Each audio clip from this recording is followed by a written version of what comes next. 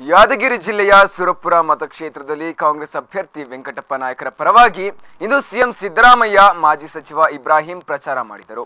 ಕ್ಷೇತ್ರದ ಕಕ್ಕೇರ ಪಟ್ಟಣದಲ್ಲಿ ಆಯೋಜಿಸಿದ ಕಾರ್ಯಕ್ರಮದಲ್ಲಿ ಮಾತನಾಡಿದ ಸಿಎಂ ಇಬ್ರಾಹಿಂ, ಬಿಜೆಪಿಯನ್ನು ಕಟುವಾಗಿ ಟೀಕಿಸಿದರು.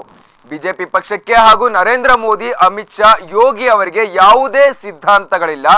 ಯಾವುದೇ ಕಾರ್ಯಕ್ರಮಗಳಿಲ್ಲ, ಕೇವಲ ಜಾತಿ, ಜಾತಿಗಳ ನಡುವೆ, ಧರ್ಮ, ಧರ್ಮಗಳ ನಡುವೆ ಬೆಂಕಿ ಹಚ್ಚುವ ಕೆಲಸ ಮಾಡುತ್ತಿದ್ದಾರೆ ಎಂದು ಹರಿಹಾಯ್ದರು.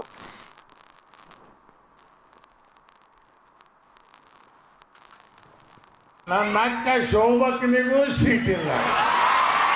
ಈ ಪಾಪ ಅವರು ಯಡಿಯೂರಪ್ಪನ ನೋಡಿದ್ರೆ ನನಗೆ ಸಂಕಟ ಆಕತ್ ಮಾಧ್ಯಮದ ಮುಖಾಂತರ ಯಡಿಯೂರಪ್ಪನವ್ರಿಗೆ ಪ್ರಾರ್ಥನೆ ಮಾಡ್ತೇನೆ, ನಿಮಗೆ ಬಿ ಜೆ ಪಿಯವರು ಆದ್ವಾನಿಗೆ ಎಲ್ಲಿ ಕುಂದ್ರಿಸಿದ್ರು ನಿಮಗೂ ಅಲ್ಲೇ ಕೂರಿಸ್ಯಾರ ಇವತ್ತು. ನಿಮ್ಮ ಪರಿಸ್ಥಿತಿ ಏನಾಗ್ಯದ ಸಾವಿರ ರೂಪಾಯಿ, ಐನೂರು ರೂಪಾಯಿ ನೋಟ್ ಆದಂಗೆ ಆಗ್ಯದ ಇವತ್ತಿನ ದಿವಸ. ನಿಮ್ಮ ಮಗನಿಗೆ ಸೀಟ್ ಇಲ್ಲ. ನನ್ನ ಅಕ್ಕ ಶೋಭಕ್ಕನಿಗೂ ಸೀಟ್ ಇಲ್ಲ. ಅದಕ್ಕೆ ಏನಾಗಿದೆ? ಈ ಶಾಖನಾಗ ಏನು ಮಾತಾಡಬೇಕು ಅಂತ ತೋರಿಸ್ತಾ ಇಲ್ಲ. ಯಡಿಯೂರಪ್ಪನವ್ರೆ, ಒಳ್ಳೆ ಆರೋಗ್ಯ ತಡೀರಿ. ಸಿದ್ದರಾಮಯ್ಯ ಕೂಡಲ ಸಂಗಮದಾಗ ಆರ್ನೂರು ಕೋಟಿಯಲ್ಲಿ ಕೂಡಲ ಸಂಗಮದಲ್ಲಿ ಒಳ್ಳೆ ಮ್ಯೂಸಿಯಂ ಮಾಡಿಸ್ಯಾನ, ಒಳ್ಳೆ ಸ್ಥಾನ ಮಾಡ್ಯಾನ. ಕೂಡಲ ಸಂಬಂಧ ಕೂಡ್ರಿ. ಓಂ ಗುರು ಬಸವಲಿಂಗಾಯ ನಮಃ ಅಂತ ಐದು ವರ್ಷ ಹೇಳ್ರಿ ಮುಕ್ತಿ ಸಿಗತ್ತೆ ನಿಮಗೆ ಇವತ್ತು ಐದು ಸಾವಿರ ಐನೂರು ಸಾವಿರ ರೂಪಾಯಿ ರೋಡ್, ನೋಟ್ ರದ್ದಾದ ಮ್ಯಾಗ. ದೇಶದ ಆರ್ಥಿಕ ಪರಿಸ್ಥಿತಿ ಸರ್ವನಾಶ ಆಯ್ತು. ಇವತ್ತು ದೇಶ ಸಂಭಾಳಿಸಕ್ ಸಾಧ್ಯವಾಗ್ಯದ?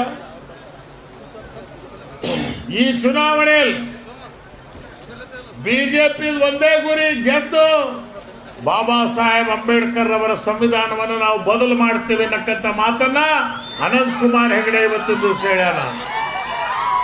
ಸಾಹಿತಿಗಳಿಗೆ, ದಲಿತ ಸಾಹಿತಿಗಳಿಗೆ ನಾಯಿಗಳು ಅಂತ ಹೇಳ್ದ. ನಾ ಕೇಳ್ತೇನೆ ಇವತ್ತಿನ ದಿವಸ, ಕೇಳ್ರಿ ರಾಜಗೌಡ್ನಿ ಬಾಬಾ ಸಾಹೇಬ್ ಅಂಬೇಡ್ಕರ್ ಸಂವಿಧಾನ ಹೋದ್ರೆ ಓಟ್ ಹಾಕೋ ಹಕ್ಕು ಹೋಗತ್ತೆ ನಿಮಗೇನ್ ರಿಸರ್ವೇಶನ್ ಸಿಕ್ಕಿದೆಯೋ? ಆ ರಿಸರ್ವೇಶನ್ ಹೋಗತ್ತೆ ಶೂದ್ರ ಶೂದ್ರನಾಗೆ ಇರಬೇಕು. ಇದು ಬಿಜೆಪಿಯವರು ಬಯಸ್ತಕ್ಕಂತ ಬೈಕ್ ಈ ಪಾಪ ಅವರು ಯಡಿಯೂರಪ್ಪನ ನೋಡಿದ್ರೆ ನನಗೆ ಸಂಘಟನೆ ಆಕತ್ ಮಾಧ್ಯಮದ ಮುಖಾಂತರ ಯಡಿಯೂರಪ್ಪನವ್ರಿಗೆ ಪ್ರಾರ್ಥನೆ